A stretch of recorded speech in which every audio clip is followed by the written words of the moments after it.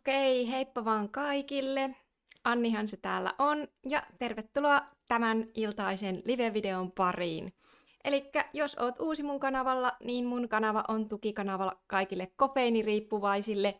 Ja sitten mä teen myös videoita kaikenlaisista muista aiheista. Omassa välillä luen raamattua, öö, välillä kalastelen ja sitten tutkin monia muita mielenkiintoisia ajankohtaisia aiheita. Ja nyt tässä videossa mä ää, tota, luen vähän teille tuon tämmöisen kirjan suomennusta kun tota, noin The Poisoned Needle, joka on siis tämmöisen Eleanor McBeanin vuonna 1957 julkaisema kirja. Ja tässä kirjassa puhutaan rokotteista ja niistä kauheista haitoista, mitä ne jo tuolloin ovat aiheuttaneet. Ja itse ainakin voin hyvin samaistua kaikkeen, mitä tuossa kirjassa sanotaan, niin mitä tapahtuu myös meillä tässä ajassa. Joten pitemmittä puhetta lähdetäänpä katsomaan.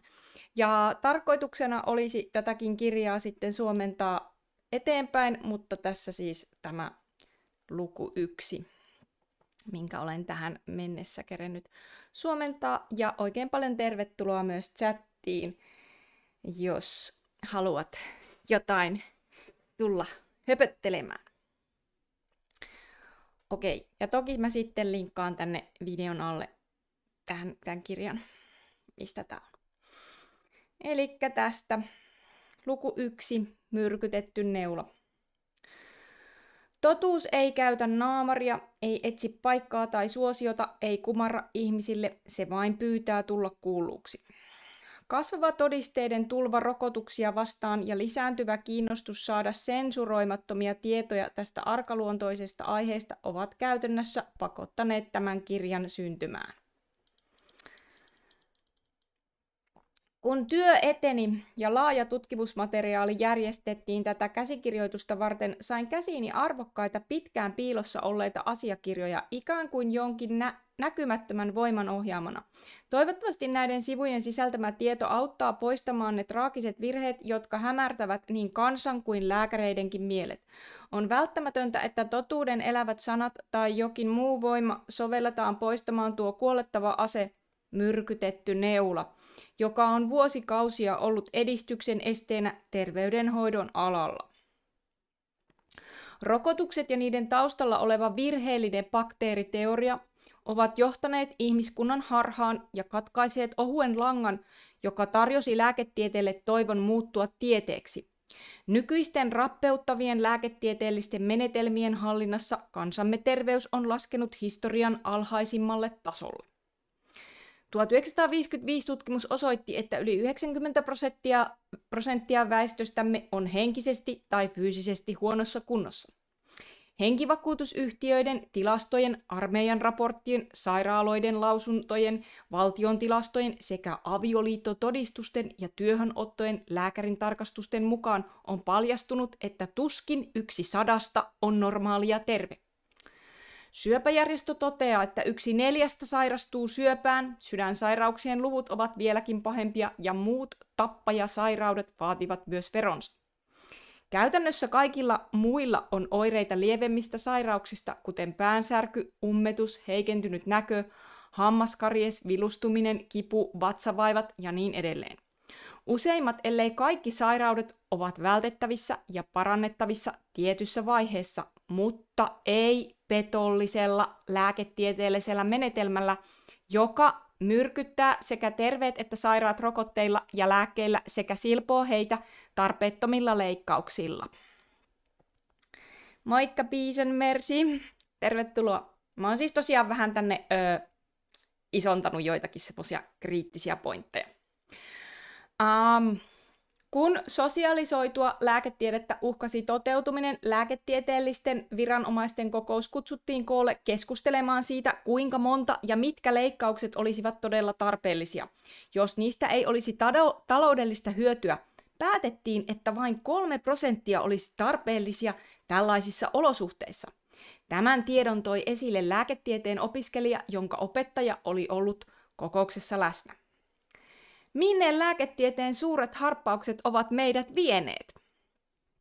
Katsaus viimeisen 70 vuoden lääketieteelliseen tilastoihin, joita on ylpeästi kutsuttu lääketieteen suuriksi harppauksiksi, herättää väistämättä kysymyksen siitä, ovatko nämä harppaukset olleet taaksepäin, sillä kyseisinä vuosina on havaittu kansanterveyden merkittävä heikkeneminen ja tappavien tautien järkyttävä lisääntyminen. Rokotuksilla voitettavaksi tarkoitetut akuutit, akuutit sairaudet on ainoastaan peitetty tai tukahdettu, tukahde, tukahdutettu, kunnes pidätellyt myrkyt ovat syövyttäneet sisäelimiä ja kehittyneet vaarallisiksi kroonisiksi sairauksiksi. Seuraava taulukko antaa käsityksen siitä, mitä nykyiset virheelliset menetelmämme tekevät rodullemme. Tappavien sairauksien lisääntyminen viimeisen 70 vuoden aikana.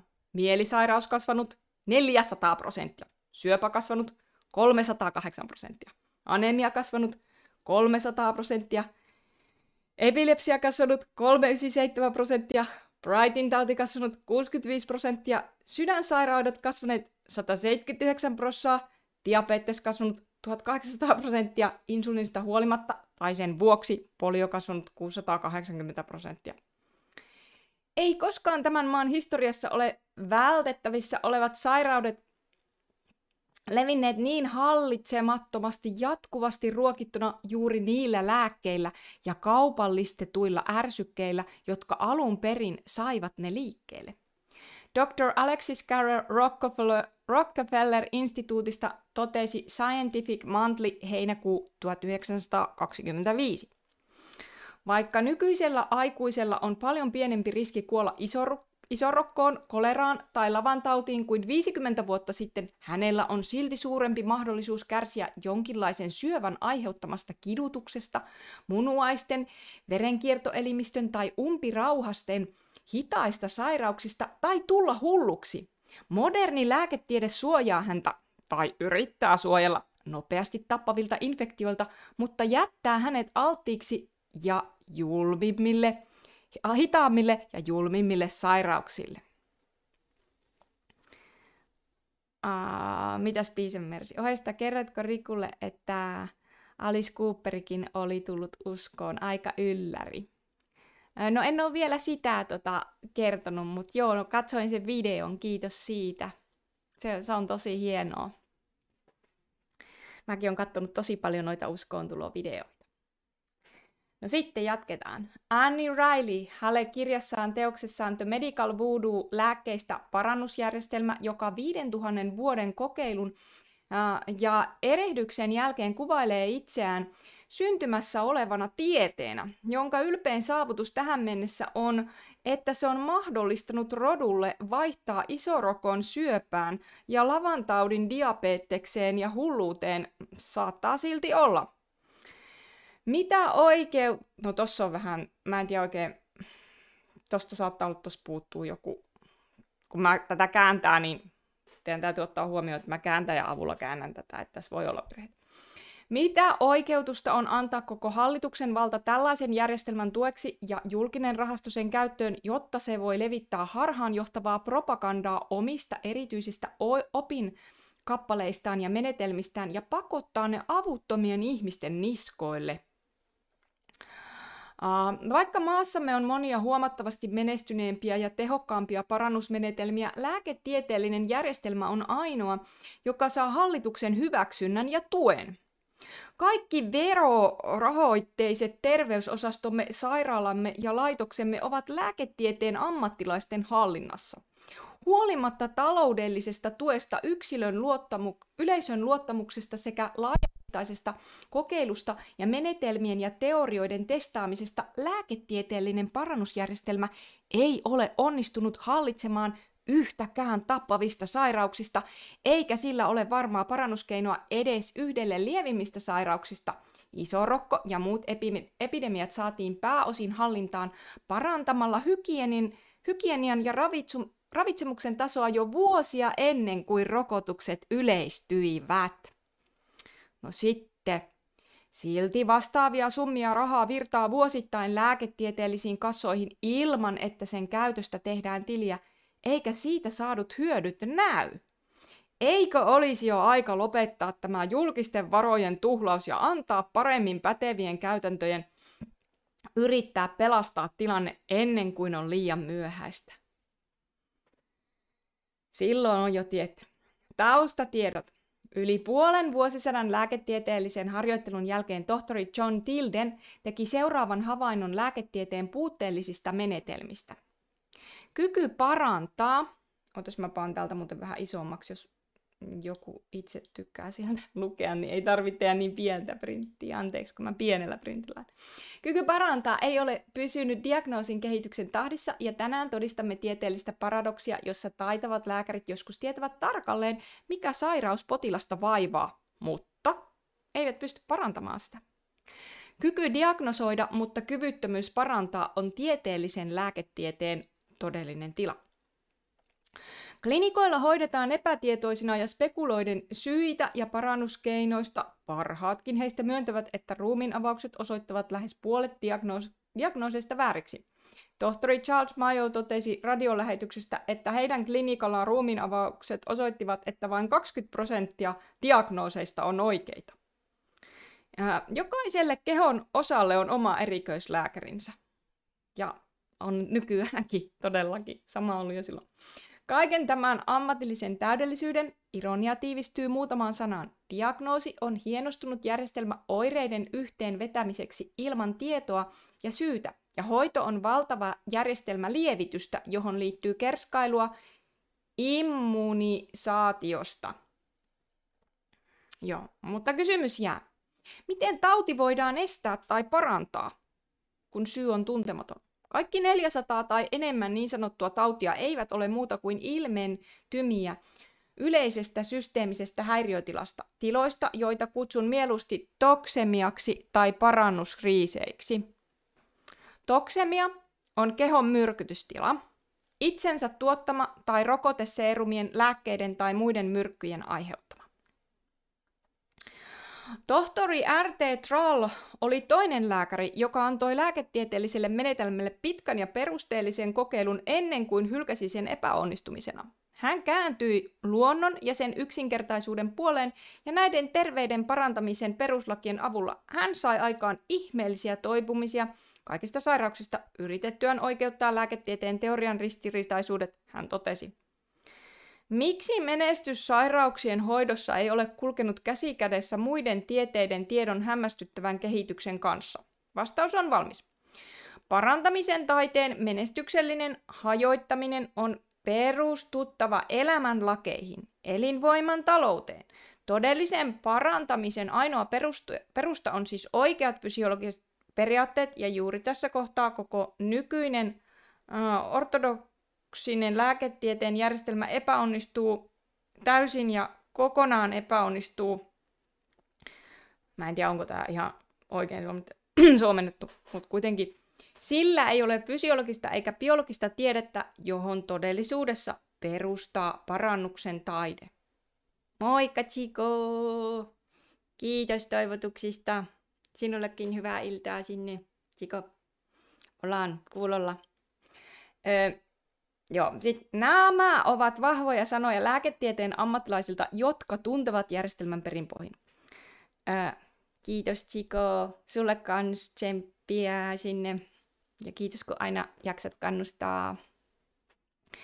Ää, joo, eli perinpohjan lääketiede on tuottoisa ala. Se on todella tuottoisa ala. Taloudellisesti katsottuna – ja jos menestyneet ammattilaiset jättävät sen rehellisyyden, integriteetin ja idealismin vuoksi, se osoittaa, että nämä arvostetut ominaisuudet puuttuvat tästä liiketoiminnan harsta. Juuri tämä fysiologisten ja biologisten periaatteiden puute on mahdollistunut lääketieteen ammattilaisten tyrkyttää rokotusten kaltaista epätieteellistä harhaa yleisölle. Moikka Esko! Katsotaanpas tuo, otetaanpas tuo chatti tuolta, ottaskaa, ottaskaa kuule ihmiset, minä otan tuon chatin, että minä näen mitä työ huostatte. Särky on aina paha, aina jos tauti parenaa, jossa särkee lääke voi auttaa minua, mistä tulevat särky?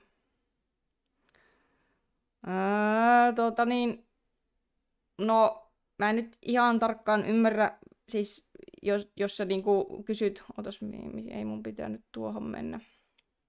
Ottakaa nyt, mä menin sekaisin. Niin tuohon sun kysymykseen. Moikka Jaakko. No mun mielestä särky ei ole aina välttämättä paha asia, vaan itse, siis tämä on sitten niin sitä mun mielipidettä, mä silleen koin, että nämä meidän kaikki niin sanotut oireet, mitä meidän keho tuottaa, niin ne on siis itse asiassa kehon niin kuin, luonnollisia paranemisprosesseja, missä meidän keho pyrkii eroon kaikista niin kuin, myrkyistä ja sitten ihan meidän luonnollisessakin aineenvaihdunnassa, soluaineenvaihdunnassa syntyy koko ajan jätteitä, solujätteitä ja bakteerit toimii vähän niin kuin talonmiehenä, että ne syö sitä kuollutta kudosta ja puhistaa ja näin, että, että meidän keholla on niin kuin kyky parantaa itseensä, mutta sitten niin kuin monesti, mä en sitä sano, että joskus voi olla, ja jos tarvii ottaa lääkkeitä, niin mä en ketään siitä tuomitse, mutta silleen niin kuin yleisesti ottaen, niin kuin tässäkin artikkelissa nähdään, että, että miten paljon niin kuin vauriorokotukset on jo tuollo aiheuttanut meidän maailmassa, ja tänä päivänä se on jo jotain ihan kauhistuttavaa, että,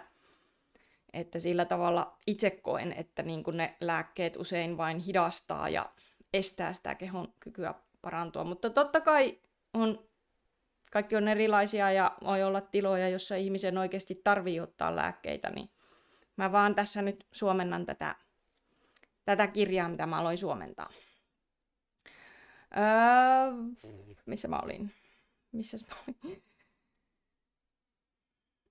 Olinko mä tuossa. Juuri tämä fysiologisten ja biologisten periaatteiden puute on mahdollistunut lääketieteen ammattilaisten tyrkyttää rokotusten, joo, tuossa harhaa yleisölle. Okei, rokotukset perustuvat, perustuvat virheelliseen oletukseen.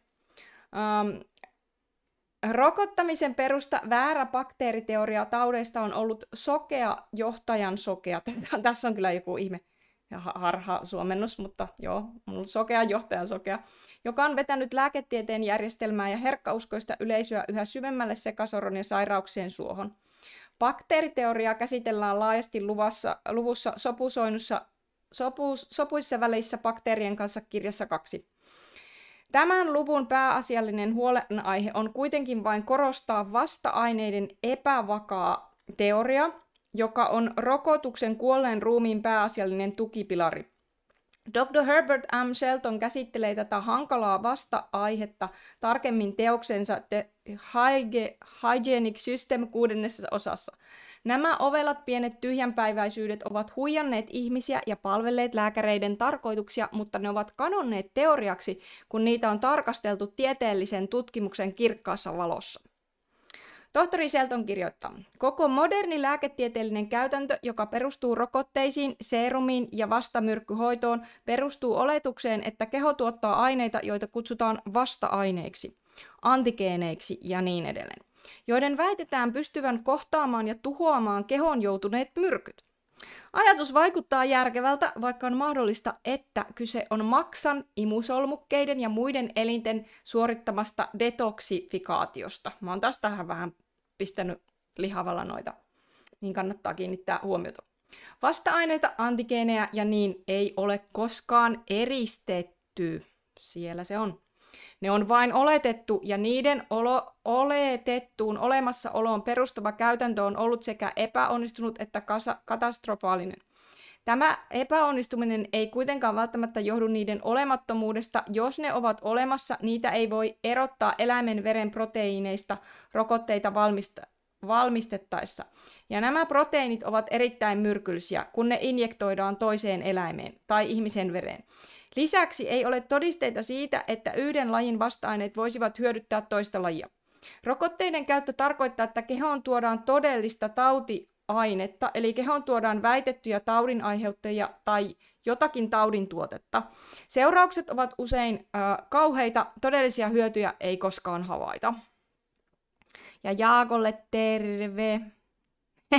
Joo, Anni, Anni on homeostaasi orientoitunut. Joo. Muistakaa, että mä en, mä en ole mikään, mä oon ihan perusheppu, mä en voi antaa kellekään mitään neuvoja, mutta, mutta kirjoja mä voin täällä lukea. Öö, joo, ja omia mielipiteitä esittää.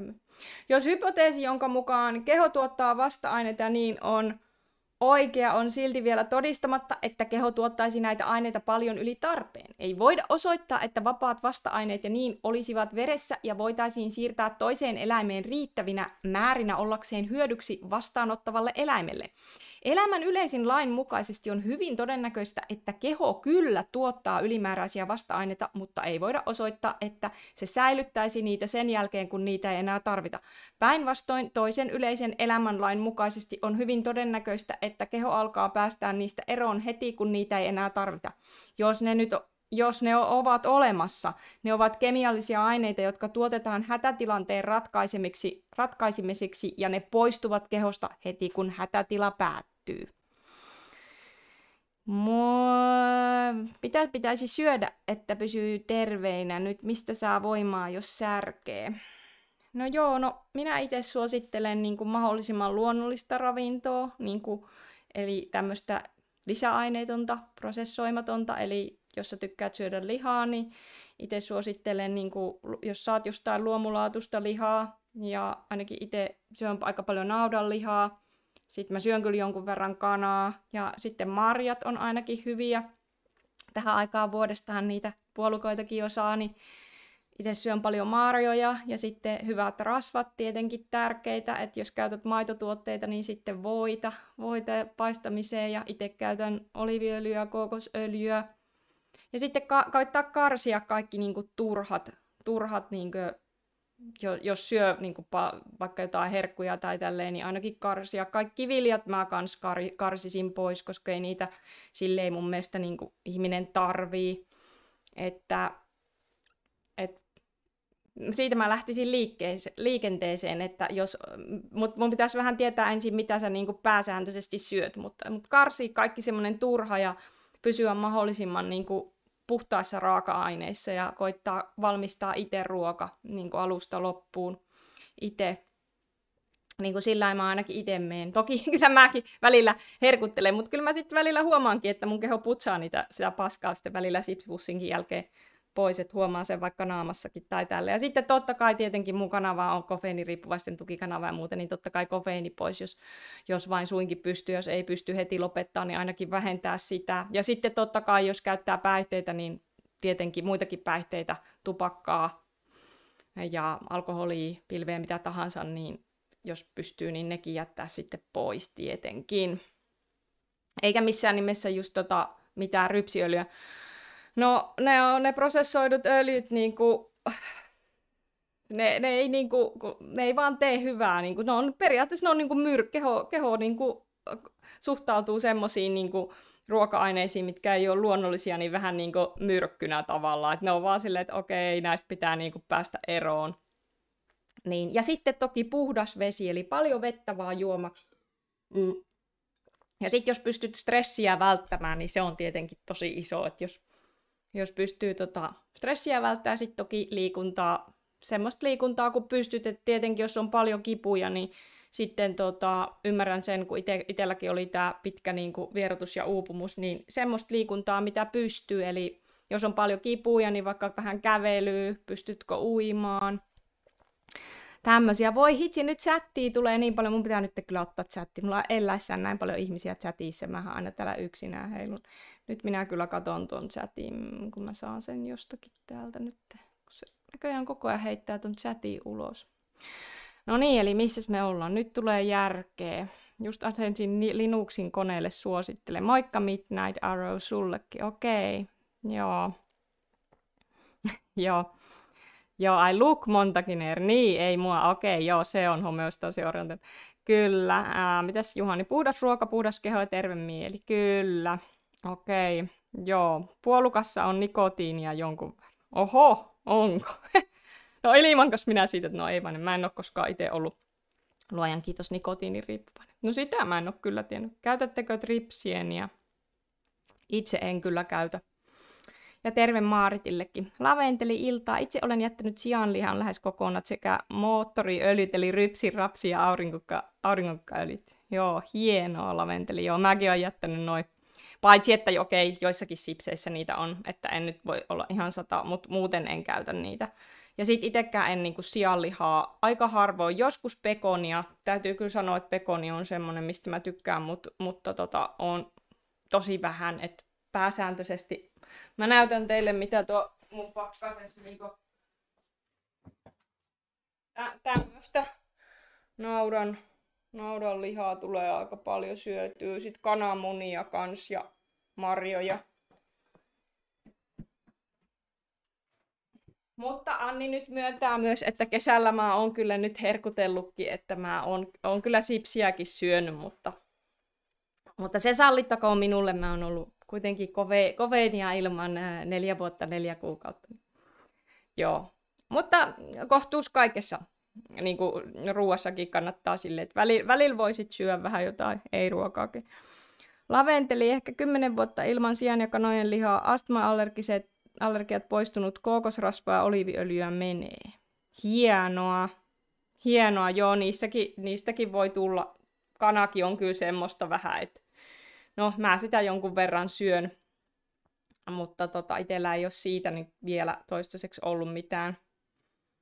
Mutta mut siitäkin voi tulla yskää ja tämmöistä, että jos siellä on jotain myrkkyjä. Mutta nyt ollaanko me tässä noin? Ollaan, eli Tunnettu tohtori Anthony B. Champ, yksi maailman johtavista tiedemiehistä ja bakteriologeista, havaitsi, että mikroorganismit, joita tavallisesti kutsutaan bakteereiksi, kehittyvät kehon rappeutuneista soluista. Nyt mä oon jälleen isontanut tämän, eli kannattaa tämä muistaa, joissa ne alun perin auttoivat ja osallistuivat elämän aineksen jatkuvaan hajoamiseen, jolloin ne muodostuvat uudelleen aineeksi, jota luonto voi käyttää. Sitten kun bakteereja löytyy sairaankehon sisältä, ne eivät ole tulleet ulkopuolelta ja aiheuttaneet sairautta, vaan ne ovat kehittyneet kehon sisällä olevista rappeutuneista soluista ja niillä on tärkeä rooli jätteiden ja tuhojen käsittelyssä, joita kehoon pakotetut seerumit, lääkkeet ja muut myrkyt aiheuttavat. Eli se on aika hieno se puistusjärjestelmä, mitä meidän kehossa on. Ja tämä meidän nykylääketiede niin kuin kertoo aivan jotakin muuta. Niin kuin, että et meidän pitäisi niin kuin olla peloissaan meidän oma, oma keho. Mun mielestä se on aika hullu.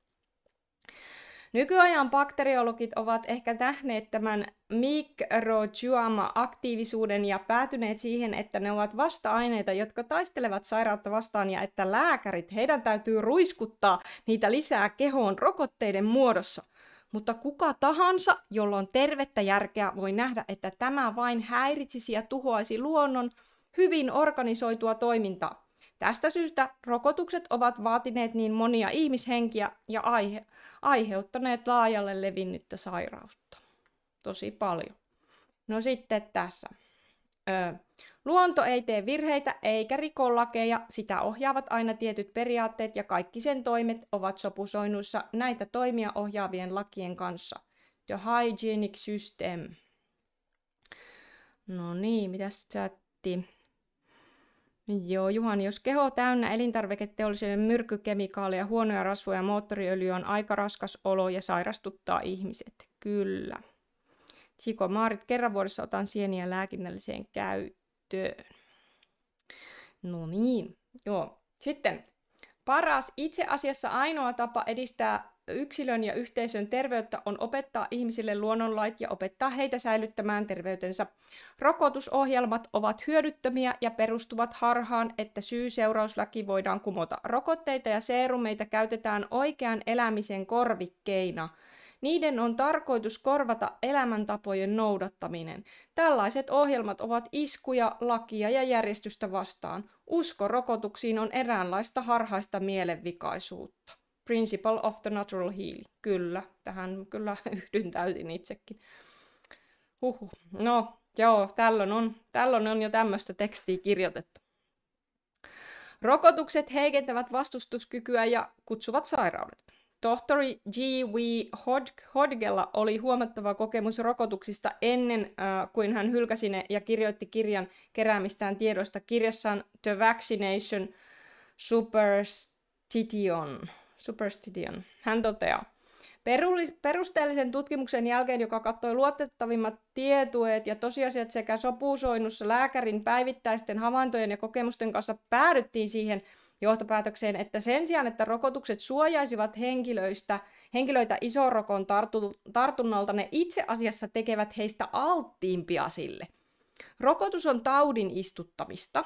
Se on sen tunnistettu tarkoitus. Terve, terveys on haa, tavoiteltava ihannetila, ei sairaus, Jokainen patogeeninen häiriö tartunnan saaneessa elimistössä kuluttaa ja heikentää elinvoimaa ja vähentää sitten sen luonnollista vastustuskykyä.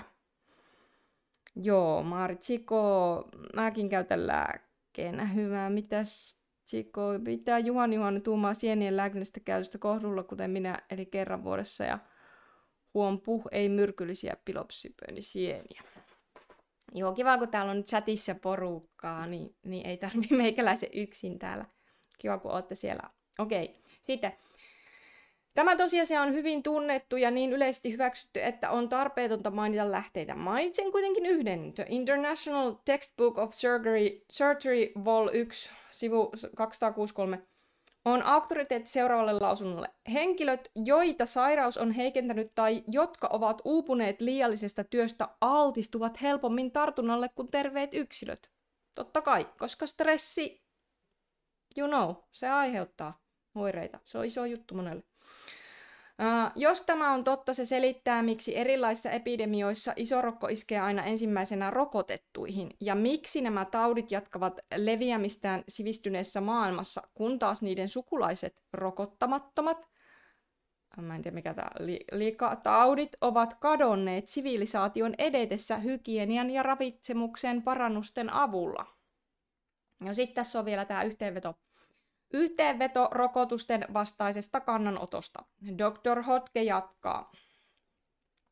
Huolellisen rokotushistorian tarkastelun jälkeen, johon on sisältynyt puolueetonta ja kattavaa tutkimusta elintärkeistä tilastoista sekä merkityksellisiä tietoja ja kaikista luotettavista lähteistä ja kokemuksia siitä, että olen rokottanut kolme tuhatta henkilöä, olen vakaasti vakuuttunut siitä, että rokotuksilla ei voida osoittaa olevan mitään loogista yhteyttä isorokkotapausten vähenemiseen ja että – Yksi, rokotusten käyttö on levittänyt joitakin kaikkein kuolettavimpia ja vastenmielisimpiä sairauksia, kuten lepraa, kuppaa, jäykkäkouristusta ja tuberkuloosia. Kaksi, rokotukset eivät ole ainoastaan hyödyttömiä, vaan selvästi haitallisia, sillä sen sijaan, että ne suojaisivat henkilöitä isorokon tartunnalta, ne itse asiassa tekevät heistä alttiimpia sille heikentämällä elinvoimaa ja vähentämällä luonnollista vastustuskykyä. Kolme. Kaikista sairauksista voi saada immuniteetin saavuttamalla terveyden, ei levittämällä sairautta. Neljä. Ei ole koskaan tarpeen aiheuttaa sairautta terveessä elimistössä suojautuakseen toiselta sairaudelta. Tällainen menettely on perushygienian ja terveysoppien kauhistuttava rikkomus. 5. Rokotusoperaation suorittaminen rikkoo modernin aseptisen kidurgian keskeisiä periaatteita, joiden tavoitteena on sulkea sairauksien tuotteet pois elimistöstä eikä koskaan tuoda niitä sinne. Kuusi ei ole olemassa yhtään kelvollista todistetta siitä, että rokotukset estäisivät tai lieventäisivät isorokkoa. Seitsemän monet terveet lapset ovat kuolleet rokotusten seurauksena. Kahdeksan miljoonat rokotetut ihmiset ovat kuolleet vaka- vakavaan isorokkoon, vaikka heillä on ollut selviä rokotusarpia kehossaan. Ysi. Isorokkoepidemiat iskevät aina ensimmäisenä rokotettuihin. Kymppi. Isorokko seuraa läheisen terveyden, hygienian ja sanitaati- sanitaation lakien räikeää rikkomista. 11. Kaikki suuret isorokkoepidemiat ovat saastuttaneet sanitaation laiminlyönnin aikana – 12 lehmärokolla ja kupalla on paljon yhteistä. 13 rokotuksen ja kupan oireiden välinen analogia on niin läheinen, että useat maailman tunnetuimmat patologit pitävät lehmärokkoa kupan muuttuneena muotona. Niin sanottu spontaani lehmärokko on myytti. Lehmärokko ei ole lehmässä luonnollisesti esiintyvä häiriö. Sitä ei koskaan esiinny sonneilla tai härillä eikä nuorilla hiehoilla, joita ei ole koskaan lypsetty. Se on lypsykarjan tauti, joka on tarttunut niihin lypsäjien käsien haavoista, jotka kärsivät kupasta. Okei, täällähän sätti menee. Mitäs tässä? Mitäs huimään silokkea uskalla ottaa miedompia haikkutatteja tai mehikaanisieniä, mehikaanisieniä vain. Juhani kerran pari vuodessa on ihan ok syödä sieniä. Se tajunnan laajentuminen auttaa paljon ymmärtämään asioita paljon paremmin samaa pilvessä. Ajattelemme edelleen asioita sama, samalla tavalla. Laajenteli suomalaisilla lapsilla on paljon pienenä allergioita. On aika varma, että johtuu siitä piikkimäärästä, mitä lapsuudessa pistetään. Kyllä, ihan varmasti laventeli. Juuri näin. Ihan varmasti johtuu.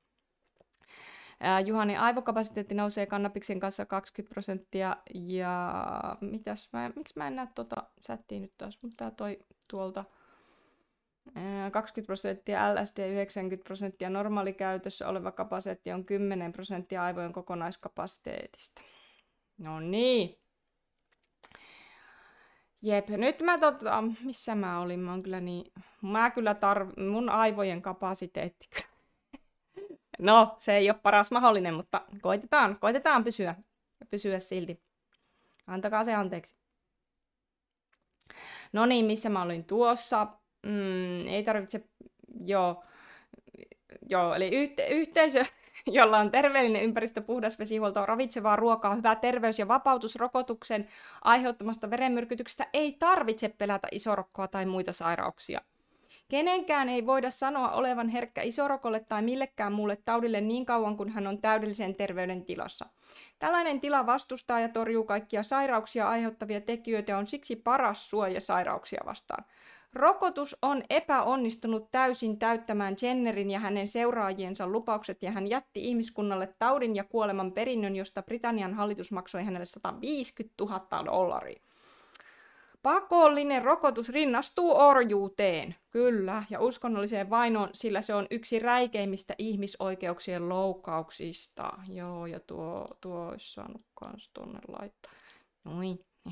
Tää, Anni, Annin tiedosta. No niin sitten että Sveitsi, Englanti ja Australia ja muut valaistuneet maat poistaisivat pakollisen rokotuksen sen jälkeen, kun sen haitallisuus on testattu ja todettu, mutta lait, jotka sallivat tämän rikoksen, häpäisevät edelleen vapauden Yhdysvaltojen lainsäädäntöä.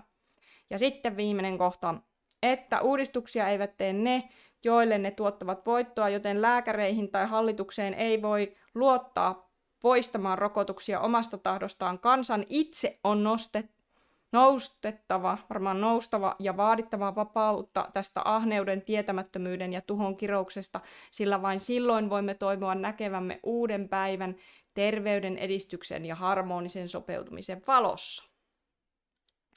Semmonen kuule, semmonen setti. Semmonen setti sitten mulla oli, mä nyt otan, jos joku ei halua nyt kuulla raamattua, niin sitten ei kannata olla, mutta minäpä luen tästä kuule lopuajoista vielä tähän, tähän tota, loppuun. Kiitos, kun olette niin tota, aktiivisena, niin mitä tuota, mikä täällä tota, Paavalin toisessa kirjeessä on. Tuli vaan tästä mieleen. Varmaan elämme tämmöisiä lopuaikoja nyt, niin tota, luen pienen pätkän tästä, eli tämä on kolmas luku. Mutta tiedä se, että viimeisinä päivinä on tuleva vaikeita aikoja sillä ihmiset ovat silloin itse rakkaita, rahanahneita, kerskailijoita, ylpeitä, herjaajia, vanhemmilleen tottelemattomia, kiittämättömiä, epähurskaita. Rakkaudettomia, epäsopuisia panettelijoita, hillittömiä, raakoja, hyvän vihamiehiä, pettureita, väkivaltaisia, pöyhkeitä, hekumaa enemmän kuin Jumalaa rakastavia. Heissä on jumalallisuuden ulkokuori, mutta he kieltävät sen voiman. Sen kaltaisia karta. Sillä niitä ovat ne, jotka tungettelevat taloihin ja pauloihinsa kietovat syntien rasittamina ja monenlaisten himojen heiteltäviä naisparkoja, jotka aina ovat opetusta ottamassa, eivät koskaan voi päästä totuuden tuntemiseen. Ja niin kuin äh, Jannes ja Chambres vastustivat Moosesta, niin nuokin vastustavat totuutta – Nuo mieleltään turmentuneet ihmiset, jotka eivät uskon koetuksessa kestä, mutta he eivät pidemmälle edisty, sillä heidän mielettömyytensä on käyvä ilmeiseksi kaikille niin kuin noidenkin mielettömyys kävi ilmi. Mutta sinä olet seurannut minun opetuksiani, vaellustani, aivoituksiani, uskoani, pitkämielisyyttäni, rakkauttani, kärsivällisyyttäni. Vainoissa ja kärsimyksissä samanlaisissa kuin minun osakseni tuli uh, Antiokiassa, Ikonionissa ja Lystrassa mim, mimoisia vainoja olenkaan kärsinyt, ja kaikista Herra on minut pelastanut. Ja kaikki, jotka tahtovat elää jumalallisesti Kristuksessa Jeesuksessa, joutuvat vainottaviksi. Mutta pahat ihmiset ja petturit menevät yhä pidemmälle pahuudessa eksyttäen ja eksyen. Mutta pysy sinä siinä, mikä olet, minkä olet oppinut ja mistä olet varma, koska tiedät, keltä olet sen oppinut – ja koska jo lapsuudestasi saakka tunnet pyhät kirjoitukset, jotka voivat tehdä sinut viisaaksi niin, että pelastut uskon kautta, joka on Kristuksessa Jeesuksessa. Jokainen kirjoitus, joka on syntynyt Jumalan hengen vaikutuksesta, on myös hyödyllinen opetukseksi, nuhteeksi, ojennukseksi, kasvatukseksi vanhurskaudessa. Ja vielä yksi, että, että Jumalan ihminen olisi täydellinen, kaikkiin hyvin tekoihin valmistunut. Öö, minä vannotan sinua Jumalan ja Kristuksen Jeesuksen edessä, joka on tuomitseva eläviä ja kuolleita sekä hänen ilmestymisensä että hänen valtakuntansa kautta. Tämmöistä, voi hyvänne aika, kuuma tulee. Mutta olipa taas tuota, vaikka aihe, aihe on ikävä, mutta se, että täällä on näin paljon kuulijoita, niin mä oon siitä tosi kiitollinen. Mitäs tuota Piisan Mersi Marinkin ensin kirjoitteli raharikkaasta lääketeollisuudesta ja seuraavassa käänteessä juoksi suoraan rahakassoille itse. Jep. Laventeli tällä tietoisuudella, mikä nyt on, en ottaisi lapsineni yhtään piikkiä. Kokemusta on, kun piikitykset alkoi, alkoi myös kutiava atoppinen ihottuma vauvana. Kyllä. Joo, en, en tuota varmasti suosittele kyllä jos, jos vain suinkin, niin kenenkään, että kukaan ottaisi lapsilleenkaan niin kuin piikkejä. Jos minulta kysyisi, minun mielipidettä kysyy, enkä, eikä kenellekään, eikä missään nimessä näitä geeniterapia-myrkkypiikkejä, niin ei, ei, ei missään nimessä kannata. Että tota, itsehän en ole rokottanut edes omaa koiraanikaan, että tätä nykyistä, että tota, siitä nyt varmaan voi moni olla montaa mieltä, mutta eipä se, eipä se kyllä sairas ole ollut. Mutta se, että tota, tämä tää on semmoinen niinku juttu, että vieläkin tosi moni ihminen juoksee noiden piikkien perässä. Ja sitten jos nyt joku on niitä ottanut ja näin, ja, ja niin kuin mä, aina ru, mä oon rukoillut paljon, että ei, että ihmisille, että et ne, jotka on niinku tietämättömyyttä ottanut niin, niinku omia läheisiä tai näin, niin mä aina rukoilen ja rukoilin, että ei niille tulisi mitään, mutta silti niinku, niistä on todella, todella tärkeää tiedottaa ja varoittaa ihmisiä, mutta niin kuin me on nähty, niin mitä me voidaan itse tehdä, niin me ei voida ketään muuta niin kuin väkisin, väkisin niin kuin estää ottamaan, mutta itse ei kyllä kannata mennä ottamaan. En, en kyllä, en suosittelisi kellekään. Ää, mitäs sitten toi Montaner uskalsi sanoa suoraan ja kuoli haastattelusta vaan tovi. Juu, kova juttu, kun Elanor on itse ollut paikalla pahimpien tapahtumien aikaan ja nähnyt ja kokenut konkreettisesti, että se tauti ei ollut tarttuva. Kyllä, ja niin kuin, jos huomaa, niin tässä on niin kuin, hirmu paljon, niin kuin, nyt kun tuota kirjaa pikkusen päästiin niin kuin, katsastamaan, että siinähän on ihan niin kuin, samat ö, asiat kuin tässäkin ajassa menossa. Niin kuin sille, että ihan, ihan siinä samassa niin kuin me ollaan tänäkin päivänä tietyllä lailla. Et mihinkään niin kuin eteen, ei me olla mihinkään eteenpäin niin kuin menty niin kuin tässä asiassa. Että päinvastoin me ollaan niin kuin menty pahempaan suuntaan, mitä näihin piikkeihin tulee. Et sinänsä niin kuin, ja se on jännä, että tota, joo, jännä sitten nähdä, että mikä se seuraava juttu sitten, että vieläkö sieltä joku hurja api, apinarokko, apinarokko, apinarokko tulee, apuvaa. Ei kuule kannata perä, pelätä paljon. Ei mitään semmosia, ei tarvi pelätä viruksia. Juu, kova juttu, ei kun Tomma luinkin, joo. Mutta tuleeko nyt mitään tuota, ö, kysymyksiä tästä aiheesta? Tämä oli, niinku, tää oli nyt tämmönen aika lyhyt setti tosta, että mä sitten niin kuin, aina kun mulla on aikaa, niin mä suomentelen tuota lisää ja, ja sitten luen teille. Tykkäättekö te muuten tämmöisestä, että mä luen tai suomennan näitä kirjoja? Onko, se, onko tämmöiset liveet niin mukavia teidän mielestä? Voitte myös laittaa niin kuin kommenttia, jos, jos tämmöinen on niin kuin, että ihan ok.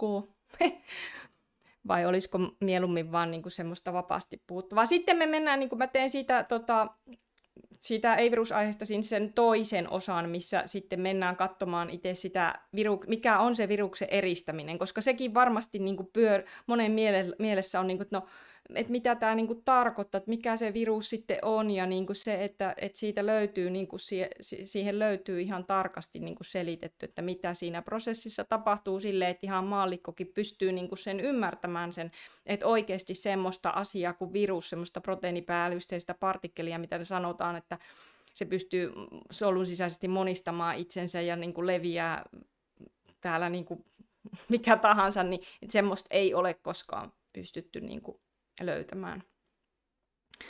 Mutta joo, mitä Siko sanoo, sai mulle jonkun tilaajan. Anni, sain sulle uuden naispuolisen tilan, lupas tilata sun kanava ihan pian. No kiitos Siko, sinä sä oot kuule semmonen markkinointimies oikein. Siko, Sikon kautta mulle varmaan ne kaikki uudet tilaajat on sitten tullutkin. Mutta se on, mä oon kiitollinen jokaisesta tilaajasta, että juu, jatka vaan suomennuksia. Sulla hyvää tietoa koko ajan. Joo, Kahteenkin kertaan kuuntelen nämä. No niin, kiitos. Hirveästi tulee kiitos. Joo, no se on kiva, koska mä tykkään lukea ja tota noin, noita on ihan hauska, hauska suomennella, niin mennään sitten näillä. Mutta tehdään sitten välillä tämmöisiä ihan höpöttelyvideoita ja sitten niitä kävelylivejä ja sitten niin kuin kaikkea addiktiosuporttia tietenkään unohtamatta totta kai sitä, sitä, että kaikki addiktit, olit mikä tahansa addikti, niin mun kanavalle aina tervetullut hengaamaan ja, ja siis niin kuin jos on masennusta ja ahdistusta, niin tänne vaan voi tulla, jos on paha päivä, niin täällä olen supporttina. Mutta nyt mä itse tota, lopetan tämän liven ja kiitän teitä jälleen paljon. Ja jos ajattelet, että joku voisi tämmöisestä hyötyä tästä infosta, tästä rokoteaiheestakin, niin voit jakaa. Ja sitten ihmiset voi itse päättää, mitä ne tekee sillä tiedolla. Niin ei muuta kuin illan